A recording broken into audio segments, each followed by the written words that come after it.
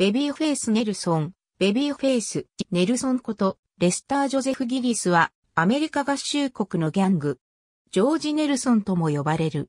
ベビーフェイスというあだ名は、童顔ゆえに呼ばれたものだが、彼はそれを嫌い、ビッグ、ジョージという新たなあだ名で呼ばれるため、残忍かつ非道な暴力と強奪を繰り返した。1931年の逮捕時シカゴ生まれ、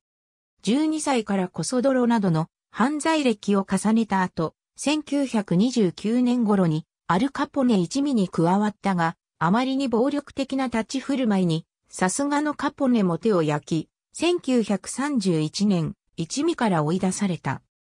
その後、彼は傷つけたいというだけで、ギャング一味の人間を殺し、刑務所に収監されるが、翌1932年に脱走し、短い期間西部のギャング、ジョー・パレントの下で殺し屋として働き、その後中西部の銀行をトミー・キャロル、ジョン・ポール・チェイス、エディ・グリーンと共に襲った。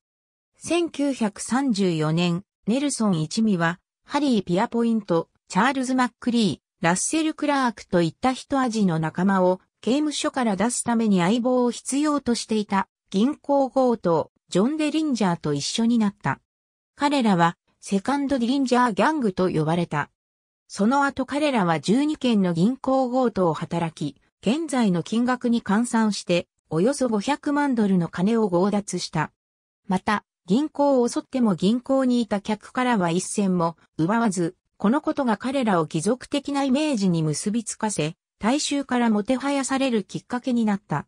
しかし、ディリンジャーは、ネルソンが警官や見物人を見境なく殺すことに心を痛めており、その度に彼にそうしなきゃならなかったのかよ。と悲しそうに言っていたという。1934年4月22日、通報により FBI は、ウィスコンシン州北部のリトレボヘミアロッジにいる、ディリンジャー一味を包囲した。そして、ロッジから出てくる3人の男に銃撃したが、彼らは、ディリンジャー一味ではなく民間人であった。この銃撃により、民間人1名が死亡、FBI は、創設間もなく大失態を犯してしまい、国民からの非難が集中するに指名された。この銃撃戦から逃れた後、ネルソンは二人の FBI 捜査官と地元の軍、保安官代理に遭遇したが、ネルソンはあざけ笑って銃撃を開始し、捜査官一人を射殺した。ネルソンとディリンジャーはその後別々の道を進み、ネルソンは彼の妻ヘレン・ギリスとチェイスと共に旅をした。1934年11月、イリノイ州バリントンで FBI 捜査官、サミュエル・カウリーとハーマン・ホリスはエンジンの止まった車にいる3人を発見、銃撃戦となった。突然、ネルソンは立ち上がり、遮蔽物のないところを FBI 側に向かって歩き出し、マシンガンを乱射した。彼の体は反撃に血まみれになったが、彼もカウリーとホリスを殺した。ネルソンは血まみれになりながらも、勢いよと射殺した捜査官たちの車を運転してヘレンとチェイスのところへ戻ったが、11月27日にその傷が元で死亡した。25歳だった。